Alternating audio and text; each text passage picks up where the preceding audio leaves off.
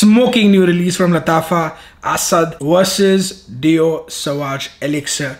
Let's talk about it.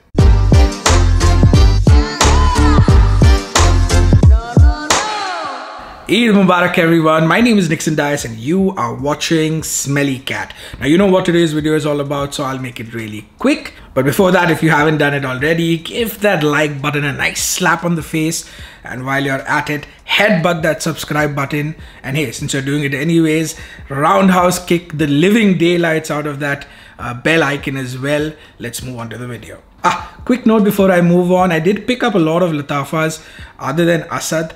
Uh, so I'll leave the comment section to you. You tell me, you pick what do you want me to review first. In the comment section, just tell me the names. I'll show you the ones that I picked up and the ones that get the most comments for. Uh, I'll try reviewing them first. Al Noble Safeer, the bottle of this one is inspired by Penhaligon's. It's actually quite good. Ejazi Intensive Silver Edition. Satur, where the cap looks like Roja Dove's crystal caps. Khamra, where the bottle looks like a square version of Angel Share by Kilian. And Sukrat, which reviewers online will have you believe is a 99% clone of Acqua di Gio Profumo.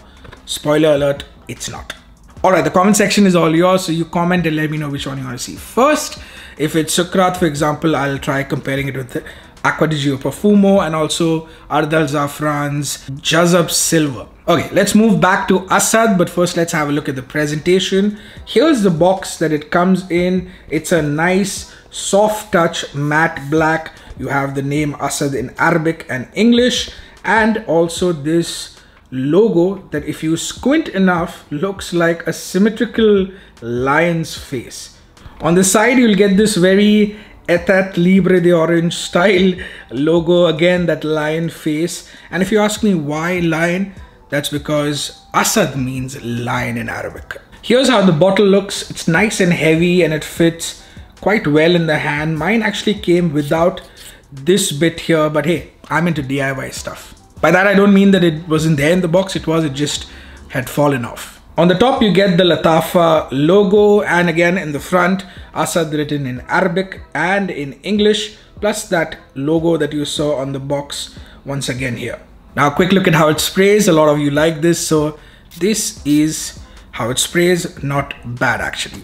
Now let's get this out of the way. This is not a clone of this. A lot of videos will tell you that they are like 90 to 95% similar, but they aren't. You need to keep in mind that if Lattafa wanted to create a Sauvage Elixir clone, they most definitely would be able to nail it. And nothing is stopping them from doing so. With this one, what I believe they wanted to do is create something that has a similar DNA to Sauvage Elixir, and they've been very successful at doing that. Now, coming to the official notes, I ignore them. I'd say you can do that as well, even if they come from the official Lattafa website. With this one, there's pineapple and coffee and whatnot, but I'll tell you what my nose actually picks. Asad and Lattafa actually start out quite differently. When I tried this the first time, I already had Sauvage Elixir, but I did not think of this one as an Elixir clone. Not at all. In fact, when I sprayed it first, I thought of um, another scent, actually a couple of scents. One is Labyrinth of Spices by Alghabra and Vidyan's Limited 71. Asad is slightly harsher, strong, uh, peppery, leather-like, um, spicy in the opening. I don't get a lot of grapefruit in the opening of this one and the peppery feeling that I mentioned is most probably a peppery lavender and uh, that's what gives it that strong powdery feel as well. Sauvage Elixir on the other hand is a lot smoother from the get-go. Uh, the grapefruit in this is also very noticeable in the start with that lavender but the lavender in this one is something that is I'd say a little more natural and one that you'll be used to uh, from other fragrances. Now you'll have to wait an hour for it to start smelling a little similar to each other. Still not the same, but after an hour is when they start, you know, uh, people would probably start making the connection between the two scents. Again, even though I'm saying this, having them side by side, you will notice the differences. But when you uh, wear them on different days is when it'll remind you of the other in the dry down again they take their own different directions if you have other Lattafa fragrances you will be familiar with that Lattafa vibe in the dry down. This one has that as well. It's a slight sweetness from, I'd say, vanilla and amber. And with this one, there's also that cinnamon that adds to the sweetness. This one, which is Sauvage Elixir, actually has a very prominent, after some time at least, licorice note, which I say is missing from Asad. Similarities, yes, of course, there are similarities, and that's why people compare them to each other.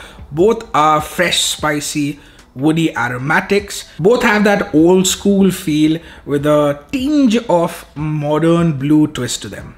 Differences, other than the ones that I've already listed before, of course, is the price.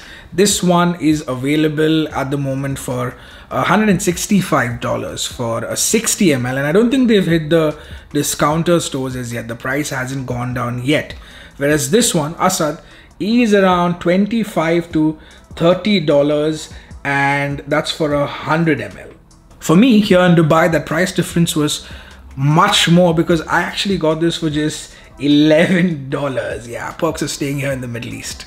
Now for that major price difference, you do get something that's a lot smoother, richer, deeper, denser and more effervescent nonsense that you'll hear. You do, you do get that with this one. And if you are into fragrances, of course, you'll notice the quality difference between them. But if you're not, it shouldn't make much of a difference to you. But I have to say this, that yes, the Lattafa does seem a little messier uh, at least in the first 10 to 15 minutes when you spray it. Now the major difference for me, other than the price, is the performance.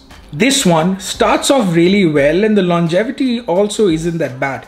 It gives me around 6 to 7 hours, uh, but it has moderate sillage. Sauvage Elixir on the other hand, man, this thing just pops on my screen for some reason and the longevity on this one also is around 10 to 12 hours on my skin. I'm not talking about my clothes. It also leaves quite a noticeable scent trail behind and the projection is monstrous. If I had to rate it on the scent alone, Sauvage Elixir is a 10 out of 10 for me and that's why I bought a backup bottle of this as well. Uh, it's it's not my kind of scent to be honest, but for some reason it just works for me. On the other hand, Lattafa Asad gets a respectable 8 out of 10 for me, but hey, for the price that you get this one for, I would say this is a no-brainer. Let me sum it up. If you are looking for a Sauvage Elixir clone, look elsewhere. Because if you buy Asad thinking it's going to be a clone or 100%, 99% uh, clone of Sauvage Elixir, there is a chance that you will be disappointed. But if you're looking for the same style, if you like scents like this one, uh, or the couple of scents that I mentioned earlier, or Roja Apex or Haltane from Parfums de Marly, which is a new release, Oud for Greatness, even Zaharoff Signature Pour Homme. Then, when you buy this, you will be more than happy with it, especially considering the price. And you know what? Let's not drag this video too far. You know, I could get into details of breaking them down and all. Honestly, scents like this at this price, you don't really have to think so much. Uh, like I said, you know, it's a no-brainer the price that it's available at.